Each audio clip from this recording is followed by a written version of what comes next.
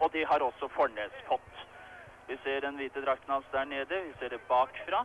Det er altså Dag Fornes i ytre bane og Peter Nottet i indre. Klar?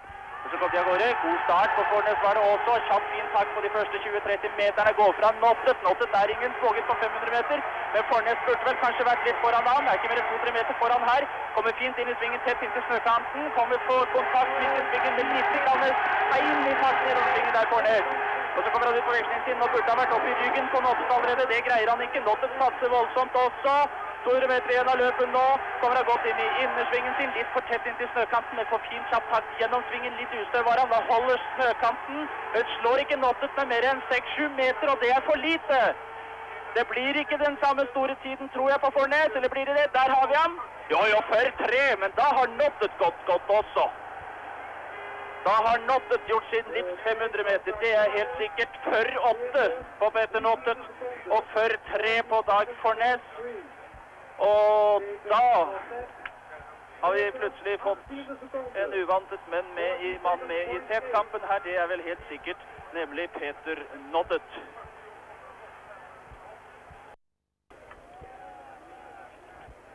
Så er vi klar igjen. Per-Willy i indre altså. Får vi si under 42 blank, Per-Willy. Tenker på Suzuki på vekslingssiden f.eks. Klar, gå! Ja, godt ut. Suzuki var meget kjapt ute. Og der får man se forskjellen på en sprinter og langdistanseløper demonstrert noe voldsomt i starten. Suzuki altså på 9-9 på de første 100 meterne. Per-Willy fikk ikke helt opp farten der og må kjempe nå for å få kontakt eh, fra indre bane på vekslingssiden. Skal vi se hvor fort det er for Suzuki. Det går ganske kjapt unna med ham. Men nå kommer Per-Willy litt bedre også. Differansen blir imidlertid enorm. Og så går svingen bra for Suzuki. Kjapt i start, litt haltende kanskje. Kjemper seg ut på oppløpssiden. Og tidene forteller vel at han kommer til å slå Fornes. Inne der, ja. Før én. Og der på Per-Willy Guttormsen. For én på Keiichi Suzuki, og dermed har han dagens beste tid. Og 42-2 på Per-Willy Guttormsen. Og det vil jeg si ikke er godt nok, Per-Willy Guttormsen. Når Jan Bolts løper på 41-6 og Peter Nottet på 48, da holder ikke 42-2. Suzuki det er jeg ikke så sikker på, men han bruker altså bena noe kjappere hvis han da ikke har lagt om stilen. Vi får håpe at heller ikke det forstyrrer Keis Verkerk. Det er duket for triumf på hjemmebane her. Alle ville bli skuffet hvis Casey ikke innfrir nå.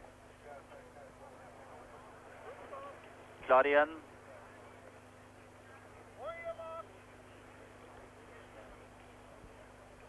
Klar. Så. Ja, nå var det korrekt. Berthold fikk en liten feilskjær i starten, men legg merke til den takten hans. Den kan jo ta livet av hvem som helst. Og her ser det ut som han har tatt mesteparten av peppen fra Casey allerede de første 100 meterne. For det var en usedvanlig tam Case Verkerk på første 150 meter. Det må jo være noe galt med Case Verkerk. Det går ikke an å gå sånn. Han er 50 meter etter på vekslingssiden, og så må han ta seg sammen.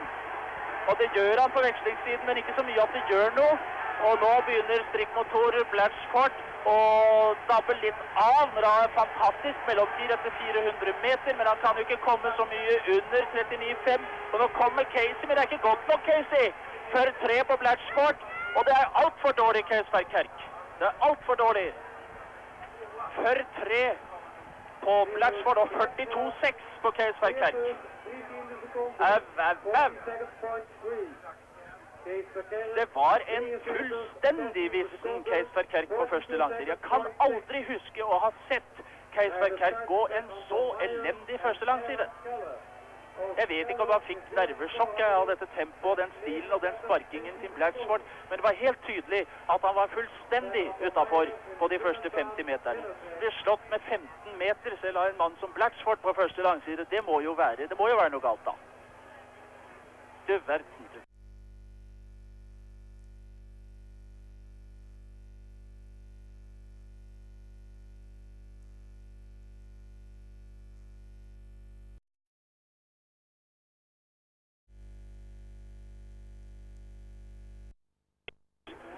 Dag Fornes altså i første ytre mot Jan Bolls, som jo er en riktig fighter, og som har skapt seg en meget god utgangsposisjon i sammenlagtkampen. Klar for europamesteren i ytre bane. Klar. Så kommer de av gårde. Og her må det satses fra første skøyteskjær, og det er Fornes tydelig innstilt på. Jan Bolt også tilsynelatende. Skal vi se hvordan de legger seg i forhold til hverandre her. Helt jevnt. Ja, Fornes faktisk litt foran i ytre. Det lover godt. Med én arm fri allerede fra starten av Fornes med kjapp tank på 20,2 på de første 200 meterne. Det lover en sterk åpningstid. Og sterk åpningstid det må Dag Fornes ha. Keiser Berker kan fremdeles vinne tre distanseseiere. Og Fornes er vel kanskje den nordmann som man må regne med er nærmest til å hindre han fra det, i hvert fall via 5000 meter. Ja, ja, ja. Her skal det bli spenning. Fornes har fremdeles en liten ledelse, altså. En dag må det jo sprekke for Fornes òg. Håper ikke det blir i dag. Passerer han der på 54,3, helt jevnt med Boll. Og det var 3,7 foran Lavruskin. Og det var altså sju tiendedeler foran et skjema til verdensrekorden. Men det skal vi være i tid. Det var det jeg var. Jeg så det også, men jeg tenkte det skal jeg ikke nevne. Det gjorde altså du. Vel, vi må altså tenke på verdensrekord her. I hvert fall har Dag Fornes tenkt på det. Han må satse så voldsomt hvis han skal ha noen sjanser. Han ligger pent an, det skal vi være klar over. Her har Bolls tatt ledelsen. Ti runder igjen. 1,29 blank. Og det er 34,7 i rundetid. Og det er altså likt med dette skjemaet til verdensrekorden når vi først har tatt det frem. Ja. Vi kan jo fortsette det en stund, men det var altså Jan Bolt som ledet. Og Jan Bolt er jo selvfølgelig særdeles interessert nå både i å få sprengt Dag Fornes og eventuelt i å få en god sluttelse. Men Fornes holder altså følge foreløpig, og eh, det skulle vel bare mangle. Han er vel favoritten av disse to, også i dette oppgjøret. Der leder han med to meter, ni runder igjen, 2.04,3. Og 35,3 i rundetid og 1,3 etter skjema. Ja, der begynner det altså allerede å sprekke, og det skal vi bare være klar over. Det var den nederlandske sekundanten vi så i bildet allerede. Og Bolt får beskjed om å henge på med Fornes nå helt fra starten av. Legg merke til den fine forseringen til Fornes i svingene. Kjappere takt i svingene altså. Han ligger likt med Bolls ut på oppløpsside, kanskje litt foran. Åtte runder igjen, og løperne kommer frem til passering nå. Ja, Bolls litt foran nå. 2.39,7 og 35,4 i rundetid. Og jeg tror vi går over til mesterskapsskjema på 7,25 til oss sju tiendeler etter den rekorden.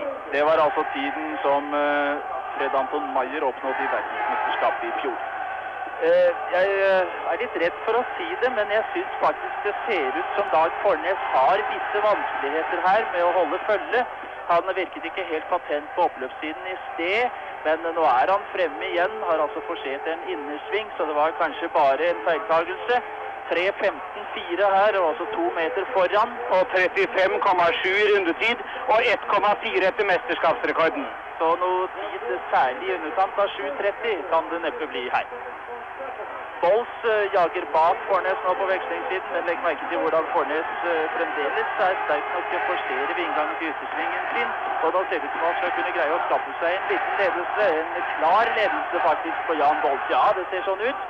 Det er seks runder igjen av løpet når de kommer fram nå, og Fornes kan faktisk nå greie å sette inn et avgjørende rykk, men Bolls kjemper seg nesten opp på siden av ham igjen. 3.51,5. Og det er 36,1 i rundetid og 2,5 etter mesterskapsrekorden. Eh, nå må Fornes benytte sjansen eventuelt hvis han vil kvitte seg med Bolls allerede på dette tidspunktet. Han må sette inn rykk i to indre, men jeg syns Fornes henger litt mye med hodet. Virker ikke helt prikk. Tvert imot er det altså Bolls som nå angriper, eller skal vi si han forsvarer seg. Og Bolls har ledelsen nå fra ytre bane. Det virker ikke helt lovende, må jeg si. Bolls altså i ytre leder. Bolls er jo en fighter. Han har jo knekket mange, Thomassen mange ganger. 4.27,4 på 3000 meter. På 35,9 i rundetid og 2,4 etter mesterskapsrekorden. Og det er Bolls som angriper nå, og Fornes er på defensiven nedover vekslingstiden. Virker allerede en smule stiv nå, Fornes. Ikke den samme satsen i frasparket. Og Bolls er på vei inn i ryggen på ham og er bare 7-8 meter etter ved inngangen til svingen. Og Fornes prøver å forsere ytre nå, vet at han er i ferd med å komme på etterskudd. Må kjempe nå, Fornes. Fire runder igjen. Og har faktisk greid å bite seg litt fast der. Bolt er også sliten, men leder med fire meter. 5.03,9. Og 36 og en halv i rundetid og 2,9 etter mesterskapsrekorden. Og Bols er sterk på vekslingssiden også. Fornes henger voldsomt med hodet nå, er blitt rett i knærne. Det ser ut som han har visse vanskeligheter. Tar ikke noe innpå nedover vekslingssiden. Kommer for sent inn i svingen. Bols vil øke sin ledelse ut på oppløpssiden nå. Det er tre runder igjen når løperne kommer til passering. Og Bols har fullstendig overtatt føringen. Og Fornes må passe seg så ikke Bols veksler foran på vekslingssiden når de kommer dit nå. 5,4,9 på Bols. Og det er 37 blank i rundetid og 3,9 etter rekorden. Og så er det så vidt Fornes greier å komme inn slik at han kan ta ryggen på Bolts nedover vekslingssiden. Taper noen sekunder der. Da Fornes feil. Han får et slag av Bolts venstre hånd.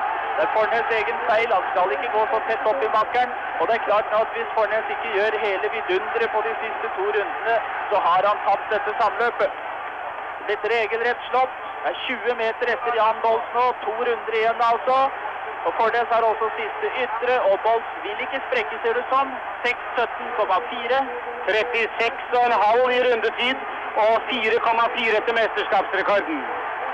Og Fornes, hva kan han gjøre? Vi holder oss til Bols på vekslingssiden med kamera. Fornes kan nesten intet gjøre. Han greier ikke komme ned i knærne. Han greier ikke øke takten på vekslingssiden, og jeg tror faktisk han taper på hver meter nå. Det er 500 meter igjen av Bolts løp, og han har overtatt ledelsen kolossalt i dag, Fornes. Fornes har nesten sprukket her på denne 5000-meteren. Det er en halv langside dem imellom. Siste passering der for Bolts på 6.54,7. Og 37,3 i rundetid. Og det er 1,3 under et skjema til 7.32.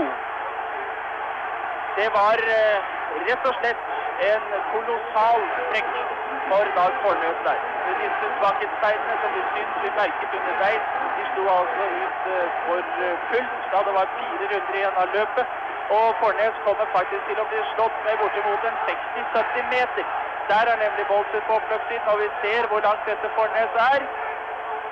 Kan han komme under 7.30? Det kan han ikke, selvfølgelig. Under 7.32? Nei. 7.32,8. Det får være godt nok. Og Fornes der, da? Er det godt nok? Det er et annet spørsmål. 7.32,8 og 7.38 blank for Dag Fornes. Det må jeg si var en nesten like stor overraskelse som at Verkerk skulle falle fullstendig sammen på 500 meter. Både på 5000, 1500 og 10 000 meter. Dermed er han faktisk ute av bildet. Og en av de som kan greie å gjøre det, er Per-Willy Guttormsen som uh, her stiller opp i ytre bane i hvit drakt. Nå er det bare det at Per-Willy Guttormsen han er Case Verkerks uh, meget gode private venn, men uh, slikt vennskap det teller ikke i en duell som dette. Og Per-Willy har selv visse sjanser til å komme høyt opp i sammendraget med en god 5000 meter, og han har selvfølgelig lyst på Caseys skalp. Per-Willy har nemlig 42-2 og ligger altså faktisk bedre an enn Case Verkerk. Vi skal uh, innstille oss på en stor duell her, og vi skal heller ikke regne det som helt avgjort at Case for Kerk f.eks.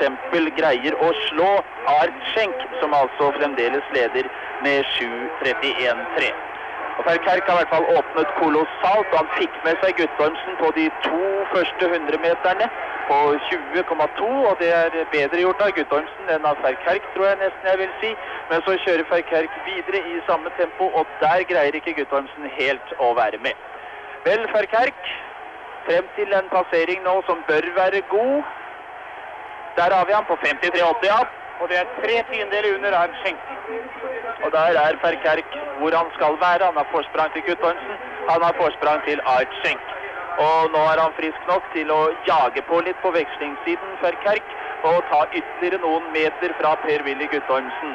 Det ville vel være blåøyt å tro at Per-Willy skal kunne holde følge med Keis Ferkerk her, men han har i hvert fall lov til å prøve seg.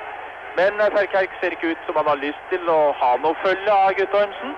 Og det er eh, ti eh, meter nesten frem til passering her hvor det er ti runder igjen. 1.28,2, og det er sterkt. Det er 34,4 i rundetid og fem tiendeler foran Schenk. Og så spørs det da om Ferkerk Nå har han altså sin posisjon inne, om han greier å holde, eller om han sprekker, slik som enkelte av løperne har gjort før i dag. Legg merke til hvordan Ferkerk går ved inngangen til svingen. Et par sånne kjappe, forserende, harde spark der også, som gir han god fart inn i svingen, og hvor han altså på den måten kan utnytte den litt ekstra. Forspranget til Guttormsen er nesten 15 meter. Det er ni runder igjen der på Ferkerk på 2.03,4. Og det gir rundetid 35,2 og 9 tiendedeler foran Schenk. På neste runde hadde Schenk 35,6. Det samme han hadde på denne runden her. Og det er eh, muligheter for Ferkerk til å knipe ytterligere noen tiendeler. Og Per-Willy Guttormsen har han altså foreløpig på trygg avstand.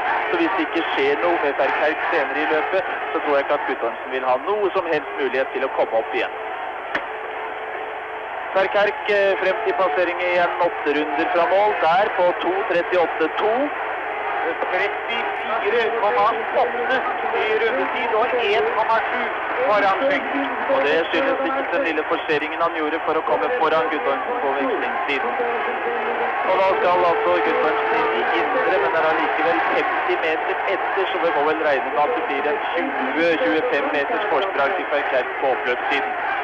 Sju runder igjen av løpet når han kommer til passering nå. Ja, ikke fullt så, 20, så mye som 25 meter. Der har vi han på 3.13,7. Og 35 og en halv i rundetid og 1,9 foran Schenk. Og nå ser vi at Gudvardsen, det vil si det ser vi ikke, men vi ser det vi som er på banen, har tapt en fem meter i tillegg til de meterne han hadde tapt for to runder siden. Her på vekslingssiden kan man se det. Gudvardsen taper altså ikke så forferdelig mye mer nå. Henger han seg på, så kan det kanskje være mulighet for en glimrende sluttid også for han. For ellers så blir det svært mye utenlandsk i teten på denne 5000-meteren, synes jeg. Seks runder igjen. Guttormsen 25 meter etter. 3.49,2. Det er 35 og en halv i rundetid og nøyaktig sekunder foran Schenk. Men han vinner ikke så mye mer nå, men så lenge han ikke taper, så er vel det bra, tror jeg. Eh, nå var nemlig Schenk opp i 36-2 og 36-9 og 36-9 og 36-8 og 37 blank. Så det er sjanse for ytterligere innhenting her for Keisberg Kerk, som vel da går mot en distanseseier. Hvis ikke Guttormsen kan greie å gjøre noe. Nei, han er blitt 30 meter etter Guttormsen nå. Det er fem runder igjen der. 4.25,1 i passeringstid 3000 meter. Og 35,9 i rundetid og 2,3 foran Arnschenk. Han vant altså der tre tiendeler til Arnschenk. Og treneren ber han forte seg litt, for Guttormsen har bitt seg fast nesten på den avstanden. Taper vel ikke mer enn en to-tre meter per runde per Willy Guttormsen nå. Så hvis øh, Ja, Sterkhaug skal sannelig passe seg, for man vet jo aldri hvor lenge man holder. Fire runder igjen av løpet. Guttormsen er blitt mer etter nå. Det er vel nesten 40 meter. Det går litt langsommere for Sterkhaug også. 5.01,1. Og 36 blank i rundetid og 3,2 foran. Ja, det er ikke så forferdelig mye langsommere at det gjør noe, med andre ord. Og Vi skal være oppmerksom på at det er noe som heter mesterskapsrekord her også, men eh, den er det såpass langt frem til at det bare er en teoretisk mulighet foreløpig. Ferkerk gjennom yttersvingen sin altså, og det ser ut som alt er klart for han. Han eh, kan vel umulig nå greie å tape distanseseieren her på denne 5000-meteren. Tre runder igjen. Der passerer han 5.36,9.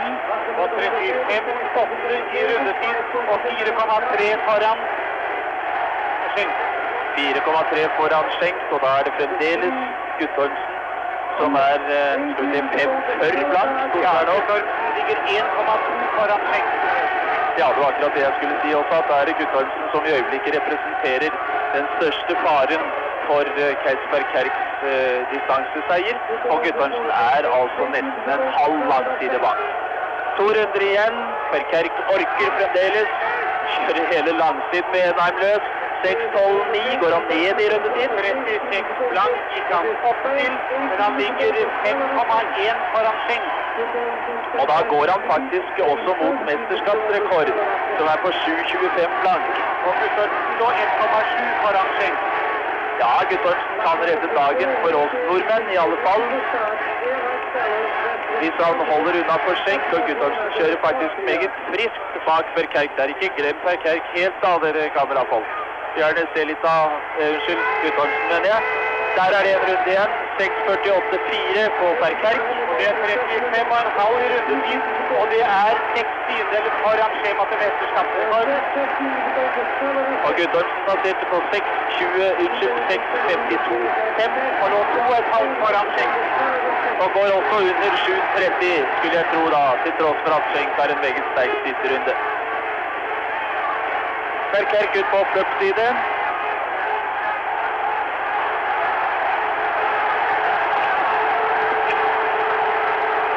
En enestående evne til å ta ut sitt aller ytterste. 7.24,1 på Keis Verkerk. Og Guttormsen 7.29,1 og inn på annenplass.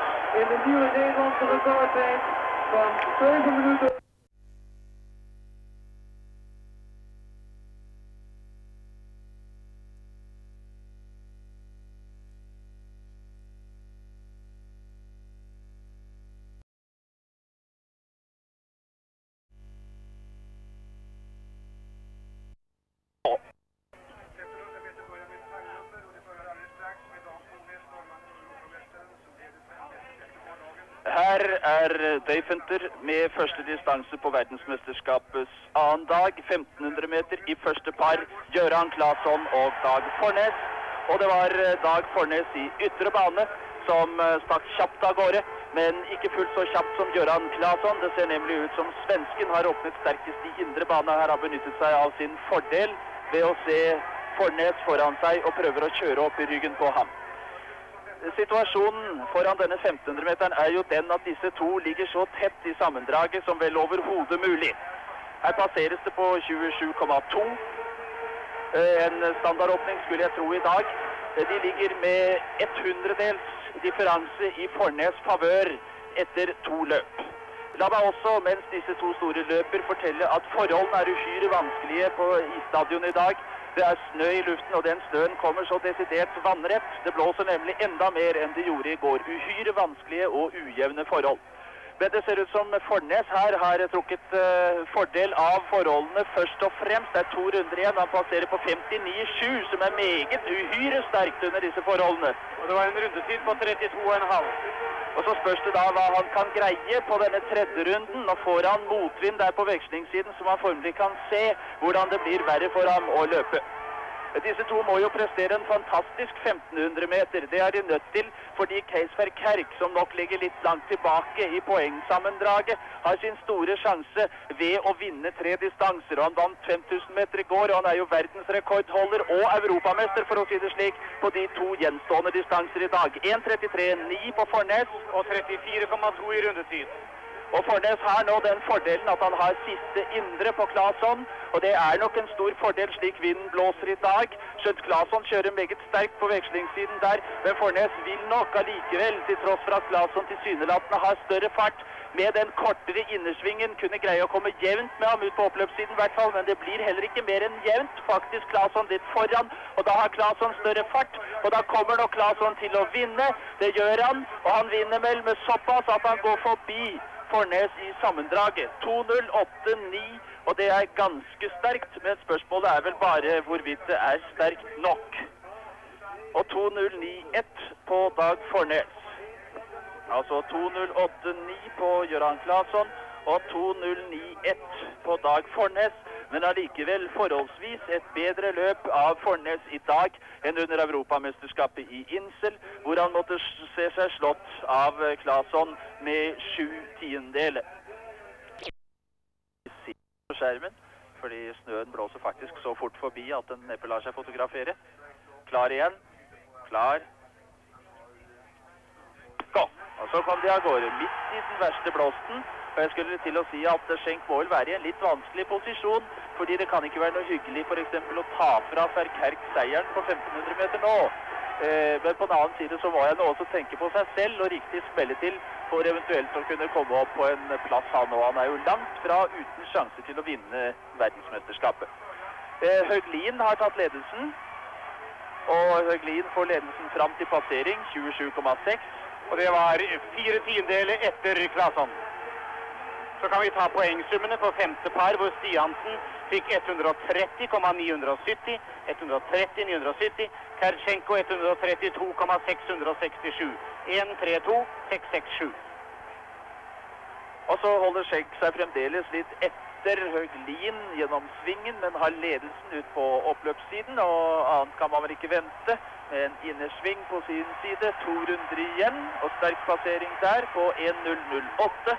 Og det er 33,2 i rundetid, men det er 1,1 etter Gøran Claesson. Ja, det er ikke så sterkt altså. Ikke så forferdelig sterkt av Schenk heller, som jo tross alt er en fremragende 1500 meter løper. Det er på den viktige tredje runden nå, og Schenk har nok distansert Høglin såpass at uh, det er en differanse mellom dem, men ikke meget. Den er på 3-4 meter, men Schenk øker den fram til siste passering. En runde igjen der. 1.34,2, og det er sterkt. Det er 33,4 i rundetid, og det er tre tiendeler etter Claesson. Men uh, Schenk faller altså, og han brekker reklameplakater og alt mulig rart. Og det skjedde altså akkurat i det øyeblikk hvor han uh, faktisk var i ferd med, og sikkert også i stand til, å forbedre dagens beste tid 2.08,9. Ja, ja, ja. Han hadde nå, hadde han løpet i sin hule hånd, tør jeg si. For her går Høglin inn på 2.093. 2.093 går Jonny Høglin inn på. Og Schenk inn der. 2.20,8 med fall. På sin side i og for seg. Siste innersving. Og han har full kontroll med hva som har skjedd før ham. Han vet at han kan slå Schenk, og han vet at Schenk kunne slått Claesson. Klar? Gå! Korrekt start. Ferkerk ut i rakettempo. Guttormsen greier ikke gå fullt så fort. Og Så får han en liten snøbyge midt i ansiktet Ferkerk Ser ikke ut til å affisere ham det ringeste. En uh, bra åpning så langt. Skal vi se hva åpningstiden kan bli. Han har distansert Guttormsen med fem meter allerede. Kan få god hjelp av Guttormsen på vekslingssiden nå. Der har vi han på 27,5. Fornuftig åpning, skulle jeg tro. Og det må Guttorm virkelig kjøre på for å hjelpe Casey der, men det greier han ikke. Han kommer så vidt foran Casey ut og veksler akkurat pent foran ham. Au! Så hindrer han Casey litt. Det var nok ikke meningen. Unnskyld, åpningen. Det var altså tre tiendedeler svakere enn Gøran Claesson. Eh, så ser det ikke ut som Verkerk går 100 for fullt her nå. Det gjør han selvfølgelig. Da ser litt grann forsiktig ut. Men passeringstiden blir sterk i alle fall. Men blir den sterk nok? Der, nei, 1.01,3. Det er for svakt. Det er 33,8 i rundetid, og det er 1,6 etter Gøran Claesson. Men eh, husk på hva som skjedde med Stiansen. Og nå kjører Ferkerk. Nå kjører Ferkerk kolossalt. Det er klar taktikk dette her. Han skal kjøre de to siste rundene og ta igjen det de andre tapte der. Og denne tredje runden ser ikke ut til å være noe særlig svakere enn annen runden hans. Og Claesson hadde altså to svake runder på slutten. Guttormsen er distansert med 30 meter. Det blir god passering. Der på 1.35,1 er litt svakt. 33,8 igjen og 1,2 etter Gøran Claesson. Og så er spørsmålet om han kan gå siste runden på 33,8. Han må gå siste runde på 33,8. Han kjører voldsomt nå i motvinden der borte og har altså heldigvis siste indre, heldigvis sett fra hans synspunkt. Men han virket sliten ved inngangen til svingen. Han gjorde det. Husk på at tiden er 2.08,9 og han må inn foran den. Og så spurter han. Han kan greie det, men jeg tror det ikke. Jeg tror ikke han greier det. Han forserer voldsomt på slutten. Han greier det. Der! Ja! Det holdt. 2.08,7. Du snakker om mann som har flaks. Du snakker om mann som har alt med seg. Hvis Schenk hadde stått på beina, så hadde ikke Case Verkerk vunnet 1500 meter.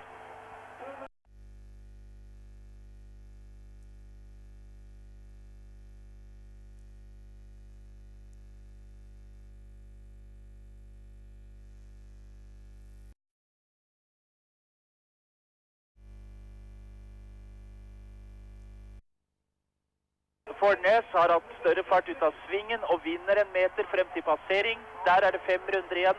12.46,8. Og 38,7 i rundetid. 6,8 etter skjema. Det er virkelig et stort samløp, dette her. Det er to fightere og det er to gode taktikere som går mot hverandre. Og utfallet er aldeles uvisst. Personlig syns jeg at Fornes ser mer sliten ut enn Bolls, men det kan jo hende at man lar seg lure. Det er fire runder igjen av løpet når de kommer fram til passering nå.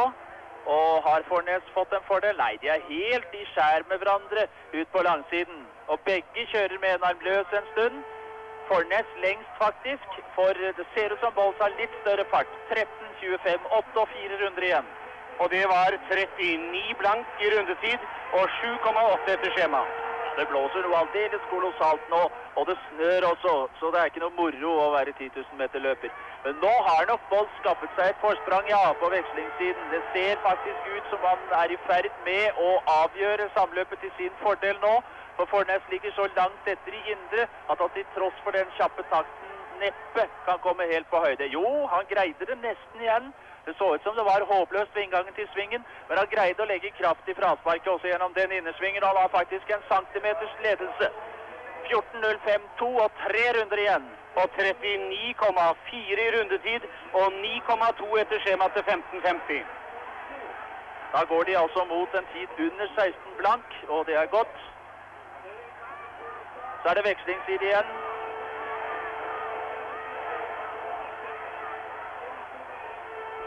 Og nå ser det ut som Bolls kommer i indre litt for tidlig. Ja, han gjør det. Og Bolls vil nå ha overtatt ledelsen ganske klart. Og det er bare to runder igjen. Og Bolt skal også ha siste indre. Og det er et fordel, det vet alle. Og da er det klart at Bolt setter inn et angrep. Han kjører hele langsiden med en arm løs og får fem meter. 14.44,6. Og 39,4 i rundetid og 10,6 etter skjema til 15,50. Ja, de faller altså av på rundetider over 39, så da kan det vel ennå ikke greier å komme under 16 blank. Og da har Boll skaffet seg en 20-25 meters ledelse på vekslingssiden. Og selv om Fornes nå kjører hele vekslingssiden med en arm løs, så blir han etter. Han kan ikke greie å ta igjen Bolls nå, og da spørs det om han kan greie det på siste runden. Bolls er jo en fighter, og Bolls vil kanskje kunne komme til å krysse foran Fornes på vekslingssiden, og da er jo slaget tapt. Fornes har i hvert fall ikke innpå. Det er én runde igjen. Bolls leder med drøye 10 meter, 15-23-7. Og 39,1 i rundetid og 11,7 etter skjema. Skal vi se, det blir kluss i vekslingen her. Fornes kan greie å forsette seg foran. Det greier han så vidt det er. Hindrer ikke Bolls. Men Bolls går bak ham og har samme farten og går altså litt gratis oppover der. Og Fornes greier ikke få større fart enn Bolls. Tvert imot, det er Bolls som har farten inn i svingen, og Bolls har avgjort samløpet til sin fordel, slik han så ofte har gjort det før. Har jo knekket Magnus Thomassen. Det gjorde han på 10 000 meter i VM i fjor, det husker vi godt. Og Bolt går altså mot en pen sluttid og mot en parseier, og er inne der på 16.02,9. Og Fornes en uh, halvannet sekund etter, skulle jeg tro. Ja.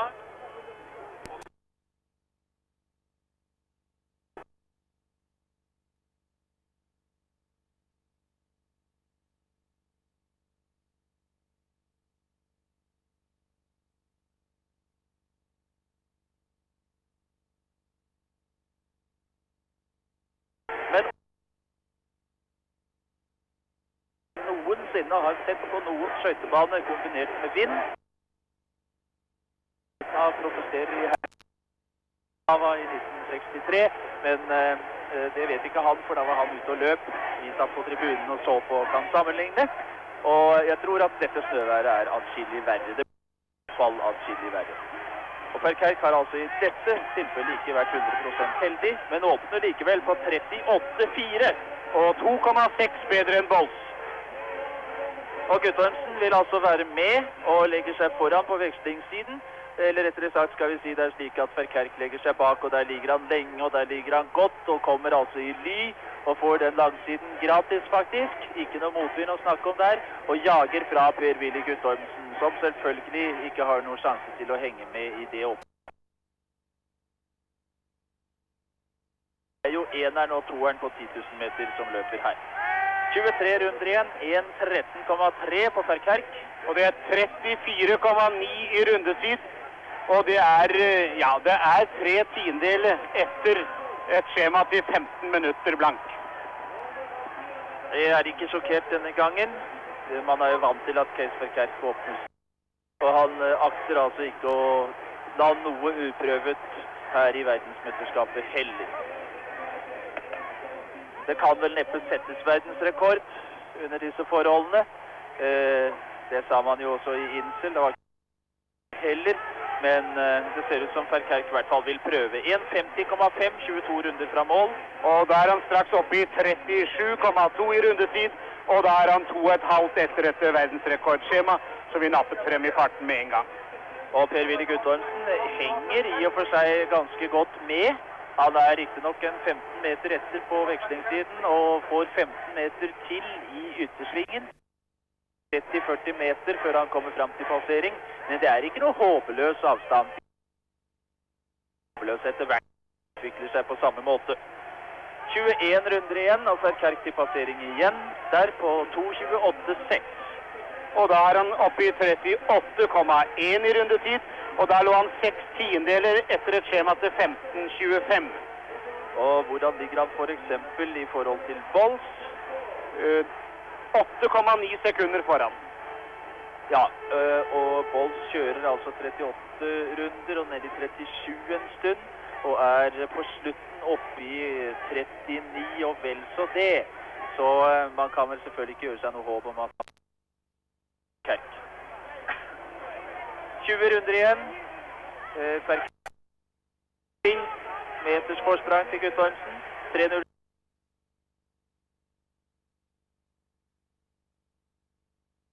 Og da er han eh, straks 2,7 etter også det nye skjemaet vi hadde tatt frem på 15,25. Ja, det ser ikke så bra ut. Hadde han vært nordmann nå, så ville jeg begynt å bli alvorlig engstelig. Eh, kan det være forholdene som Eller er det slik med den uberegnelige Keisberg Kerk at, uh, at det er noe galt med ham også her? Foran Guttormsen 3.45,5. Da er han nede i 37,8 igjen, så det må vel være vind. Og da ligger han 8,2 foran Bolt. Jeg tror vi skal holde oss til det skjemaet tross alt. Ja. ja, differansen er jo ikke så stor der. Og Bolt kjører jo 37 runder nå. Og fortsetter med det en god stund og er nede i 37 senere igjen også. Så han har jevne, gode rundetider. Og man kan jo se på Guttormsen at Ferkerk kjører sterkt, for Guttormsen blir faktisk lenger og lenger etter. Det er en halv langside nå. Skal vi se Ferkerk igjen. 18 runder tilbake nå. Bare han ikke sprengte seg på denne åpningen, da. 4.23,5. Det er tid, og da er han nøyaktig 8 sekunder foran Bolls. Tapte to tiendeler der, altså. Men det er nok klart at uh, hvis Ferkerk ikke er direkte uheldig med forholdene, så vil han ikke ha noen vanskeligheter med Bolls sluttid. Og vi skal også huske på at han kan komme foran seks sekunder. Da må han altså være, la oss si, han skal inn på 15,49.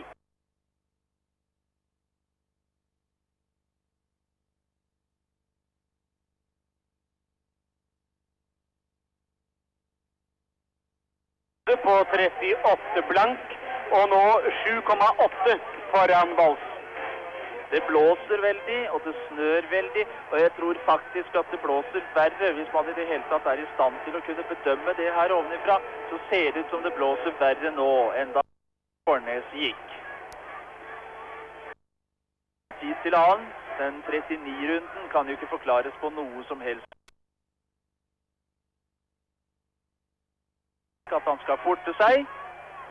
16 runder igjen. Passerer der på 5.39,8. Og 38,3 i rundetid. Og 7,5 sekund ett foran Bolls. Det er i hvert fall helt klart at han eh, ikke slår Fornes i sammendraget. Eh, hvis han ikke glefser til seg noen sekunder til. Det skal være 13 sekunder akkurat foran Bolls i mål. Hvis han skal kunne Ja, litt mer enn 13 sekunder, faktisk.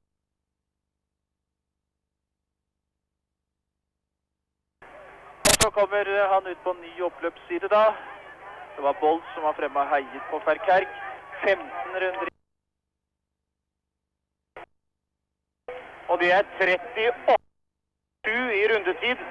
Og nå var han bare 6,5 foran Bolls.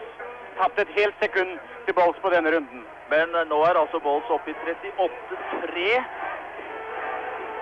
Og så går han ned igjen, så har Bolls 38, 38-6, 38-5. Men så går Bolls ned igjen 7-5. To runder, og der kan han altså få noen sekunder. Langsomt, litt stille. Er grunn til en viss engstelse dansk synspunkt. 14 runder igjen, 6.56,5. Og det er 38 blank i rundetid og 6,8 foran Bols. Der tok han Så har Bolls en 38 blank runde. Skal vi se hva Casey kan greie. Salt sterkt. Kan hende at det ikke alltid svarer seg. Guttormsen blir lenger og lenger etter. Han er vel faktisk en trekvart sving etter nå. Så blir det en 80 meter, skulle jeg tro at Guttormsen blir etter nå. Ja, kanskje ikke fullt så mye. La oss si 60-70 meter, da. Så får Kerk til passering igjen. 13 runder igjen. Der på 7. 2 i rundetid. Ja, ja. Han passerer 5000 meter nå om et øyeblikk. Visse håp om nederlandsk favør. Han passerer der 57,55 og ligger altså 6,5 foran etter den uoffisielle tiden. Og Bolls. Og det er topp løpet igjen, og Guttormsen bak ham er ikke noe lenger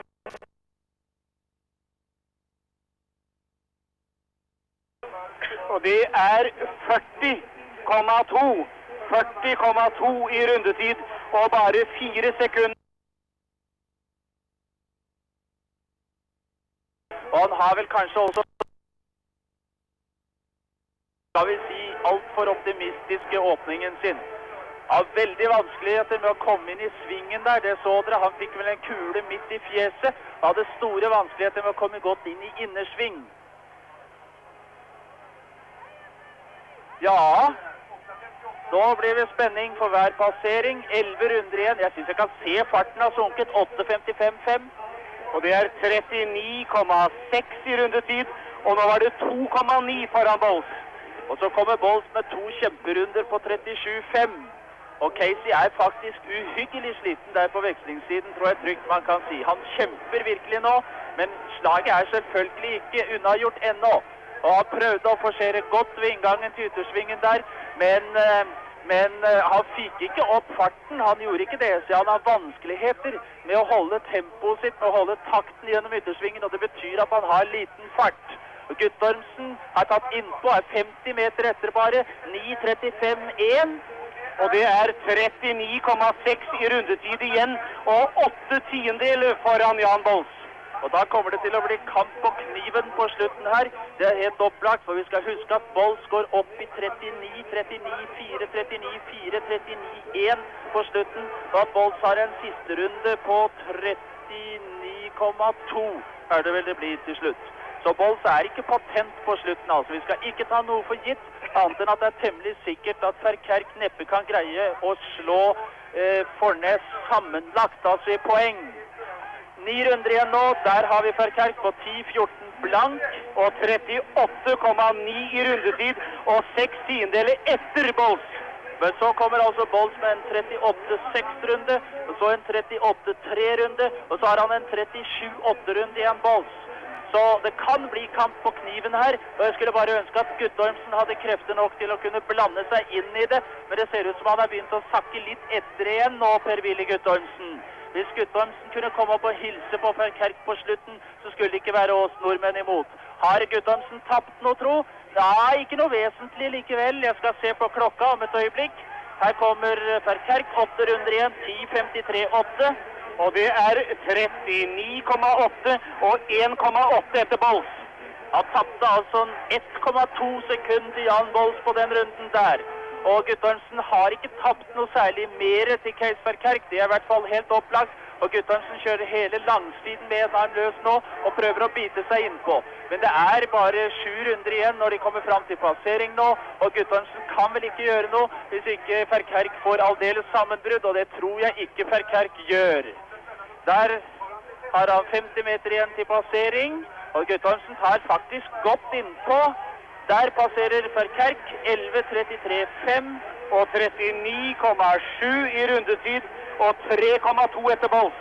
Og da ligger Guttormsen eh, 6,4 etter Bolls, for han var nemlig 3,2 etter Ferkerk igjen. Guttormsen altså bare 3,2 sekunder etter Keis Ferkerk og tok litt innpå på den siste runden. Dette er litt av en tragedie for Keis Ferkerk.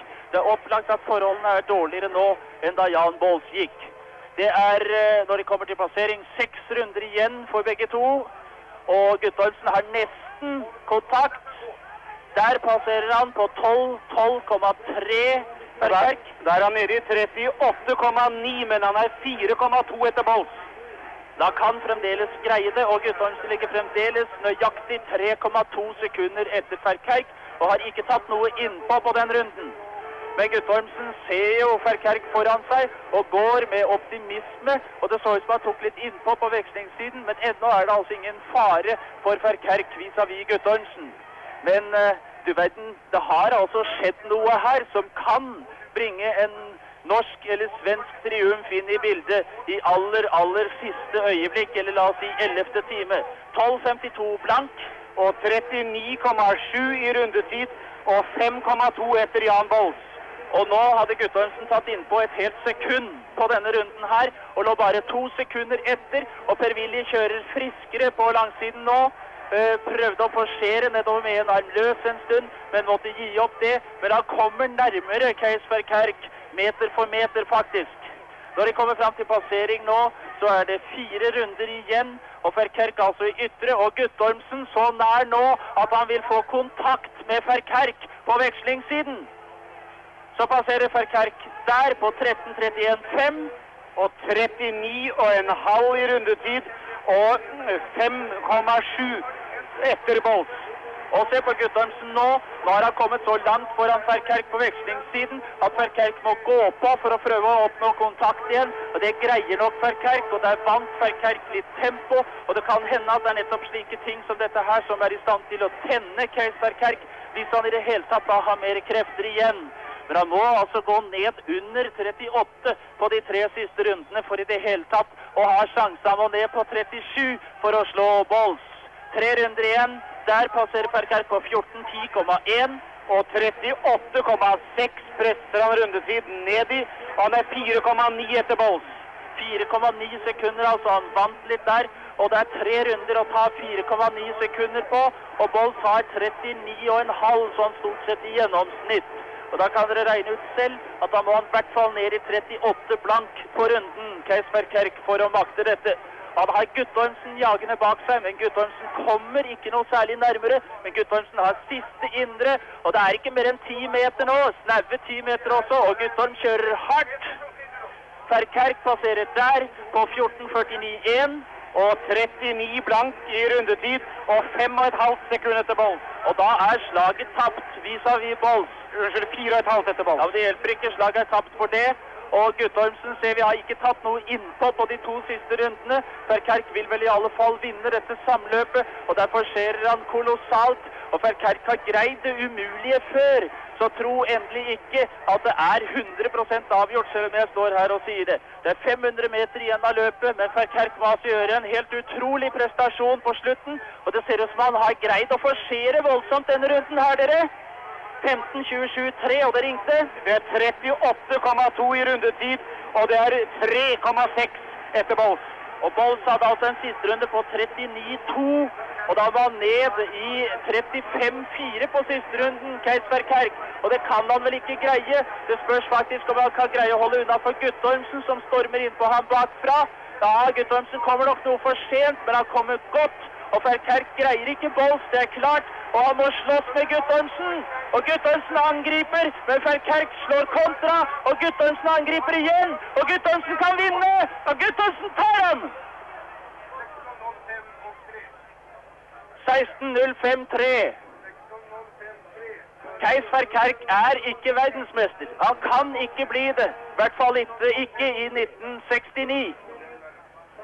Han er slått av tre mann på 10 000 meter allerede, og han er slått av Dag Fornes i sammendraget. Den eneste som nå kan ta Dag Fornes mesterskap, er Gøran Claesson. Det snør og det blåser. Klar. Gå! Og så kommer de av gårde. Claesson i ytre. Og dette blir altså et skjebnesvangert løp for alle parter. Situasjonen Fornes leder sammenlagt. Keiser Kerk har ikke greid å vinne tre distanser og ikke greid å slå Fornes i eh, poeng. Den eneste som kan gjøre det, er Gøran Claesson, som nå allerede etter 200 meter er, nesten er oppe i ryggen på Magne Thomassen.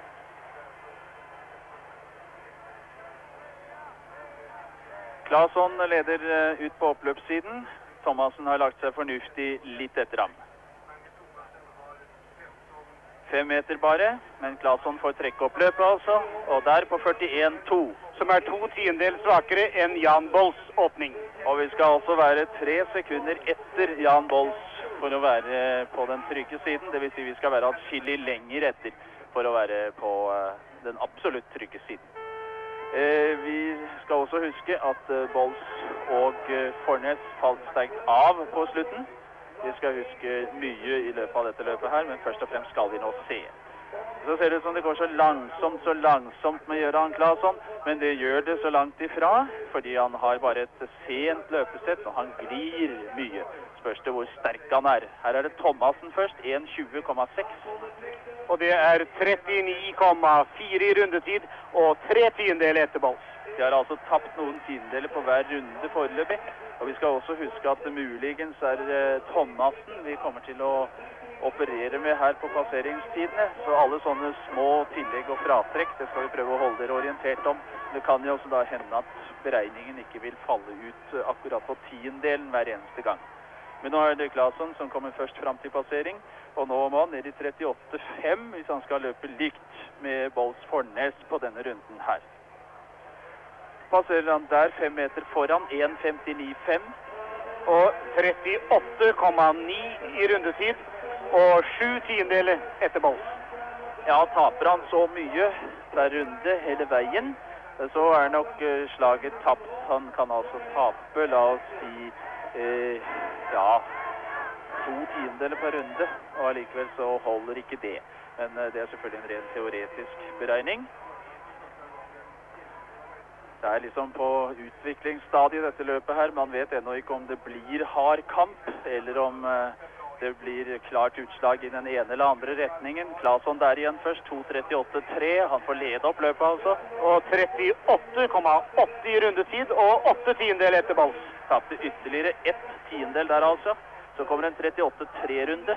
Så kommer Bolls med tre runder under eh, 38 blank.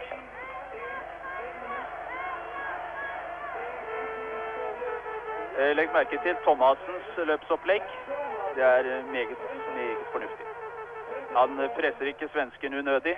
Han legger seg pent bak og vil ikke gi noe hjelp foreløpig. Kan selvfølgelig hende at han ikke er i stand til å gi noe hjelp, men vi får nå se. 20 runder igjen der for Claesson. 3.17,1. 38,8 også denne gang i rundetid og 1,3 etter Jan Bolls. Og så går Bolls ned i 37,9 på runden. Og det anvises her for eh, Per-Willy Guttormsen, holdt jeg på å si. For det var Tor Berg som anviste, men det var for Magne Thomassen. Og Magne stadig pent bak Gøran Claesson. Ikke fremme og gir noe hjelp. Svensken får selv føre opp løpet. Han er uheldig med forholdene, han nå. Jeg tror man uten videre kan si at forholdene er mye verre nå enn da Bolls og Fornes gikk. Det er temmelig sikkert. Og så er det Thomassen som fører han frem til passering. 19 runder igjen. 3.56,7 og 39,6 i rundetid. Og nøyaktig tre sekunder etter Jan Bolls, da 19 runder gjensto. Der tapte de altså nokså mye, og Magne kunne nesten ikke unngå å gå fram og ta teten, så det ut som. Eh, hvis han nå legger på litt Magne og prøver et lite angrep, så er det mulig at han kan riste seg løs fra svensken, som ikke virker helt patent, altså. Men eh, det ser ikke ut som Magne gjør det. Han ligger likt med Gøran Claesson nå. De inspirerer vel hverandre en smule i øyeblikket. Claesson svært høy nå, syns jeg. Ser ikke ut som han liker seg under disse forholdene her. 4.36,4 Thomassen først. Og 39,7 i rundetid og 4,9 etter balls Ja, det ser altså ut som om eh, disse forholdene her ikke passer Gøran Claesson. Jeg tror vi skal legge litt grann vekt på forholdene. Eh, Jeg tror vi skal være så fair at vi gjør det når det ser ut som det går den gale veien for svenskene. Eh, Men eh, vi skal vel også gi all honnør til Dag Fornes. Og vi får vel håpe at hvis det går i retning av en norsk triumf her, at den blir såpass klar at man ikke kan komme og snakke om værforholdene etterpå. 5.14,8, og det var på Magne Thomassen. Og det var 38,4 i rundetid og 5,5 sekund etter Jan Bolls var Thomassen. Og da tror jeg at Claesson ligger 6,5 sekund etter Jan Bols. Og den eh, magiske differansen er altså 2,9 sekunder. Han lå 6,7 etter Bolls.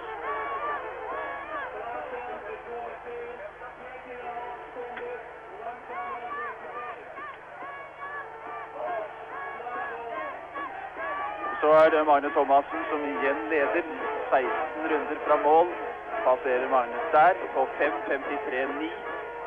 Og 39,1 i rundetid og 6,6 etter Jan Bolt. Og 5.55,5 på Claesson. som var 8,2 etter.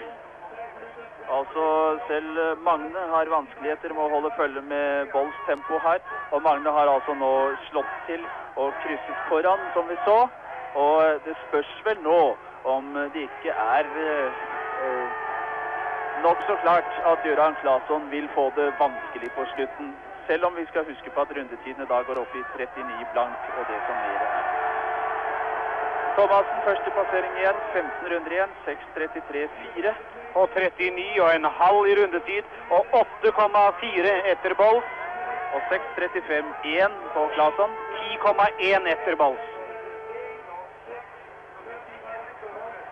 Dag Fornes er ute på banen og ser på dette løpet.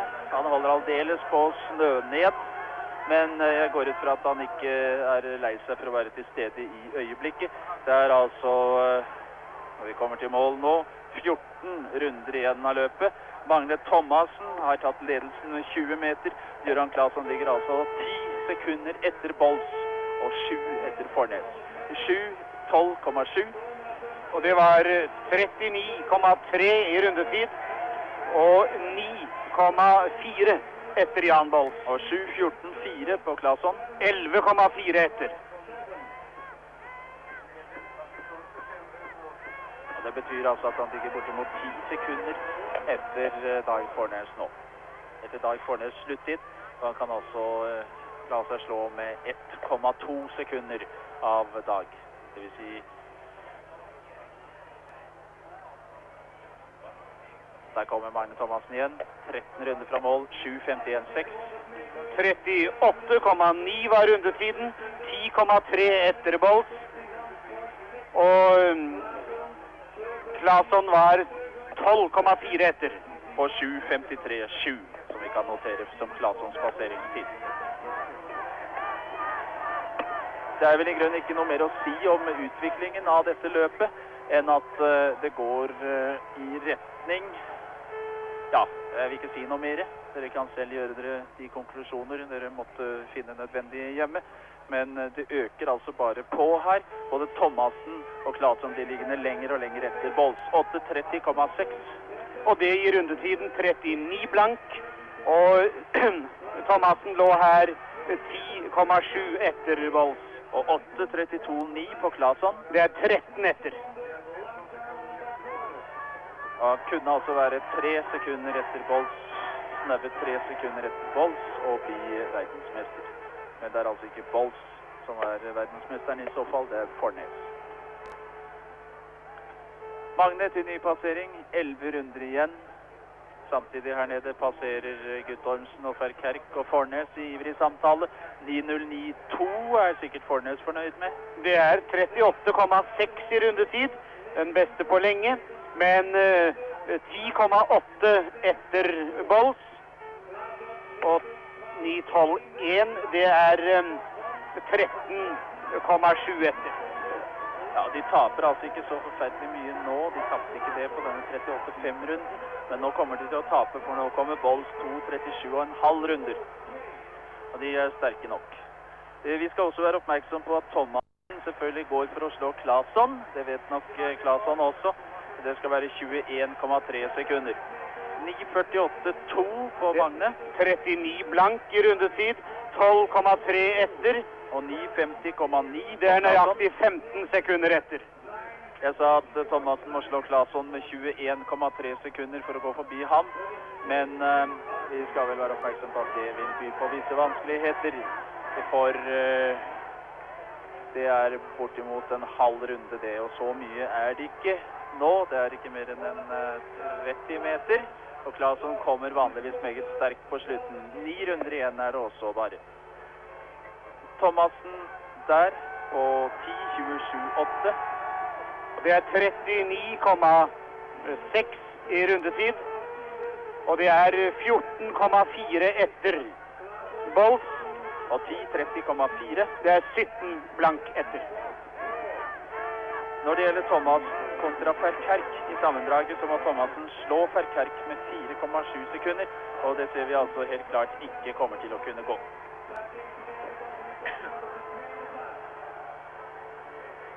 Jeg legger merke til Claesson nå har begynt å kjøre litt. Tar kanskje innpå Magne Thomassen. Magne passerer der på 11.077. Og det var 39,9 i rundetid. 15,7 etter Bolls. Og 17,9 etter Bolls var Claesson. Der lå han altså bare 2,2 sekunder etter og har begynt å ta innpå Magne igjen, Gøran Claesson. Han går altså jevnere, Gøran Claesson vanligvis, og nokså mye sterkere på slutten enn mange av sine konkurrenter. Når de kommer fram til passering nå, så er det sju runder igjen av løpet.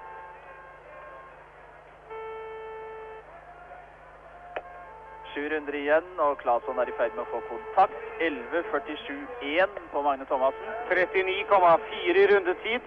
Og 16,8 etter. Og 11.48,3 på Claesson. Det er 18 sekunder etter.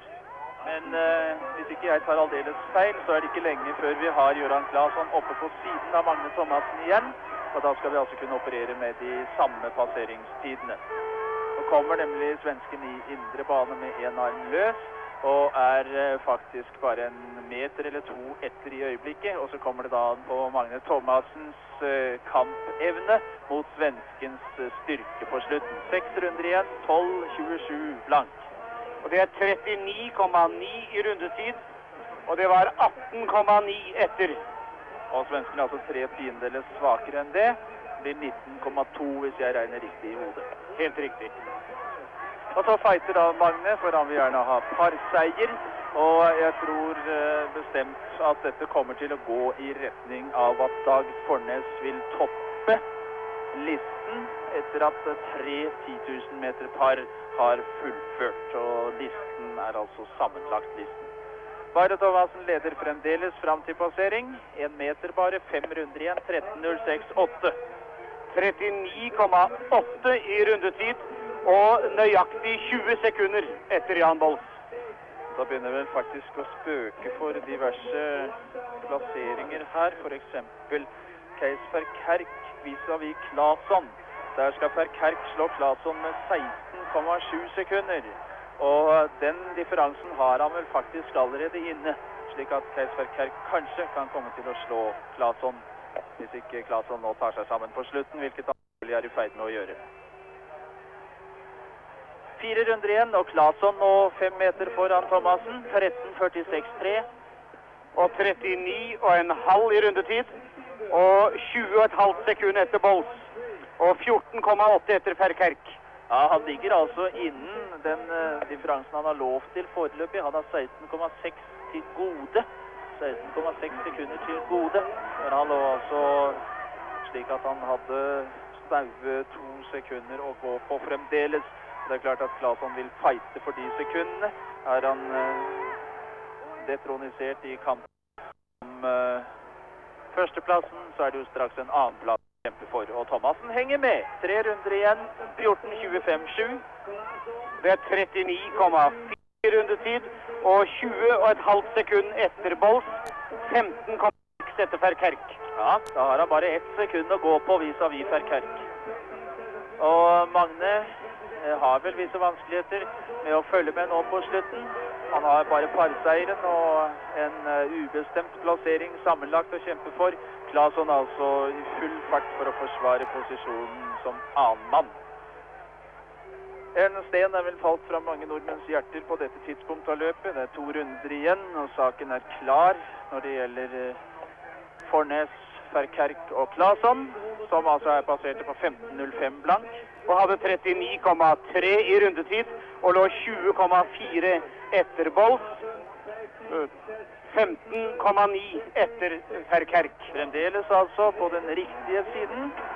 Og han må altså da, la oss se hva han må komme inn på. Han må komme inn på 16.05,4 pluss 16,6 sekunder. Vil si at han må komme inn på 22, 16.22 blank må Claesson komme inn på. Og så ringer det for ham. Han kommer til å slå Magne, har 15 meters ledelse. 15.44,1. Og det er 39,1 i rundetid. Det er 20,4 etter Bolls, Og det er 16,8 etter Ferkerk. Ja. Og Ferkerk har på siste runden 38,1. Og dermed spørs det vel om Gøran Claesson er sterk nok til å komme inn på 16,22 blank. Går godt i innersvingen sin der og kommer til å slå Magne Thomassen med bortimot en 40 meter, ser det ut som. 16,22 blank.